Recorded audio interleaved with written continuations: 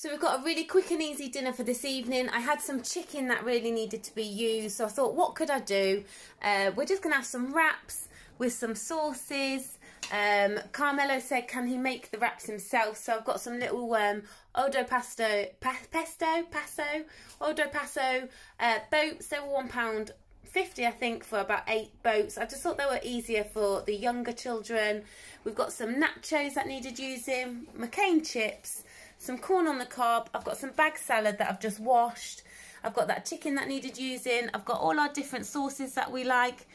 Curtis wanted proper wraps, so I bought those ones for him. And then just some um, cucumber and tomatoes.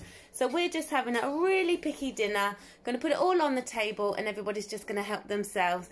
A great dinner because everybody just gets to eat what they want. The little ones can fill their little boats up. They have so much fun doing that.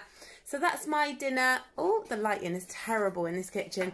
That's our dinner for our family of eight today.